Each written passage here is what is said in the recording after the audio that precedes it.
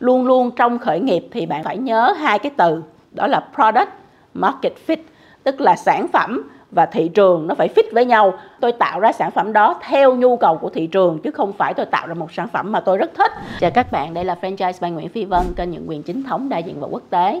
Phi Vân nhận rất là nhiều câu hỏi của các bạn trẻ gửi về ha. Các bạn sẽ hỏi là cô Phi Vân ơi bây giờ em muốn những quyền khởi nghiệp thì em nên bắt đầu từ đâu?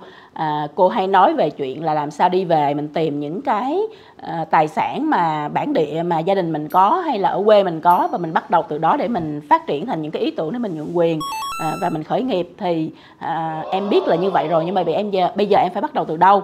Thì rất là nhiều câu hỏi bắt đầu từ đâu bắt đầu từ đâu? À, khi các bạn chỉ có một cái nhen nhóm một cái ý tưởng trong đầu thôi chứ các bạn thật sự là chưa có một cái hình thành rõ rệt gì về cái chuyện là mình sẽ làm gì hết. Thì đầu tiên hết thì vẫn nghĩ là các bạn phải định tâm lại ha.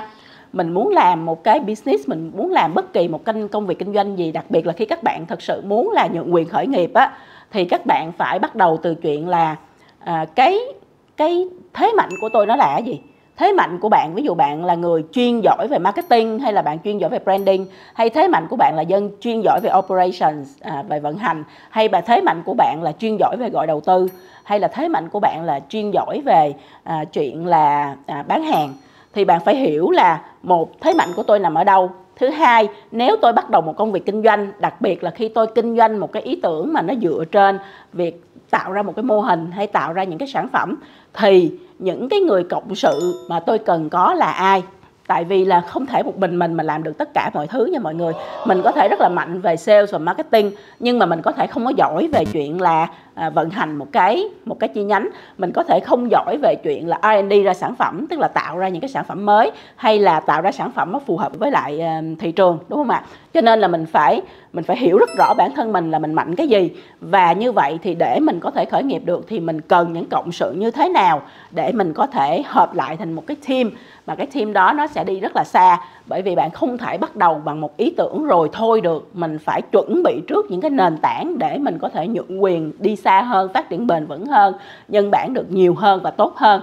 Cho nên á, là đầu tiên mình phải nghĩ cái chuyện đó. Cái thứ hai, mình phải nghĩ đó là cuối cùng sản phẩm của tôi là gì và thị trường có có cái nhu cầu cho cái sản phẩm đó hay không.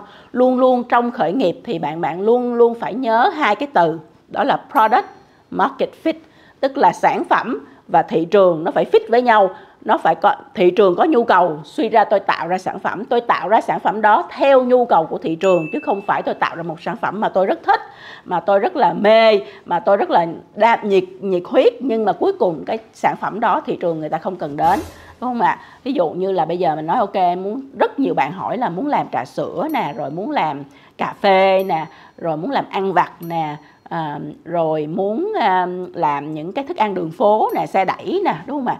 Làm cái gì cũng được hết. Nhưng mà thị trường có nhu cầu đó hay không? Nếu mà Việt Nam đang có quá nhiều à, quán cà phê quá nhiều chi nhánh cà cà phê quá nhiều xe cà phê thì cuối cùng cái cà phê mà bạn mang đến cho người ta cái cà phê mà bạn tạo ra người ta người tạo ra cho thị trường nó có gì khác biệt?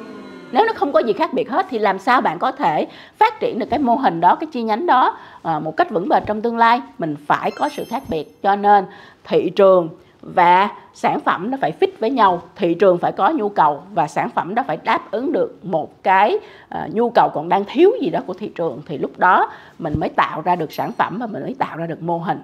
Khi bạn tạo được sản phẩm và mô hình rồi thì cái việc tiếp theo bạn cần phải làm là luôn luôn là pilot mình phải pilot, mình phải thử nghiệm xem là cái concept đó, cái suy nghĩ đó, cái ý tưởng đó của mình khi mình tạo ra, nó thực sự có như mình nghĩ trong thực tế hay không. Khi bạn không làm thực tế, bạn sẽ thấy là mọi việc nó rất là màu hồng à, thường thường là các bạn khởi nghiệp là các bạn đi present à, đi tìm nhà đầu tư các bạn sẽ nói những con số mà không ai có thể tin tưởng được. Kiểu như là ok em làm cái này là doanh thu của nó mỗi tháng nó sẽ là một tỷ hay là một tỷ rưỡi trên thực tế. Khi các bạn ra các bạn triển khai các bạn kinh doanh các bạn sẽ thấy là kiếm 100 triệu cũng rất là khó không ạ. Cho nên á, là mình đừng có ảo tưởng nha mọi người. Mình không được ảo tưởng trong trong khởi nghiệp. Mình phải rất là chắc trong việc là mình pilot nó mình thử nghiệm nó mình thực thi nó để mình coi coi thực tế. À, thị trường nó sẽ trả lời nó respond nó sẽ phản ứng với lại cái concept của mình như thế nào sau đó mình sẽ hiệu chỉnh. Và các bạn phải dành thật nhiều thời gian để bạn hiệu chỉnh mô hình và sản phẩm của mình cho đến khi nào nó trở thành product và market fit thì lúc đó bạn mới bắt đầu có thể nghĩ đến chuyện nhượng quyền và scale nhân bản cái mô hình của mình được ha mọi người ha. Thì đó là một số những cái chia sẻ những cái uh, gọi là gọi là gì ta advice mà những cái lời khuyên dành cho các bạn trẻ khởi nghiệp mà đang có cái ý định là sẽ nhượng quyền khởi nghiệp. Các bạn bắt đầu từ đó đi rồi trên cái đường trên cái hành trình mà các bạn xây dựng đó các bạn có thêm câu hỏi gì thì các bạn cứ nhắn hỏi cô Phi Vân ha. Chào mọi người.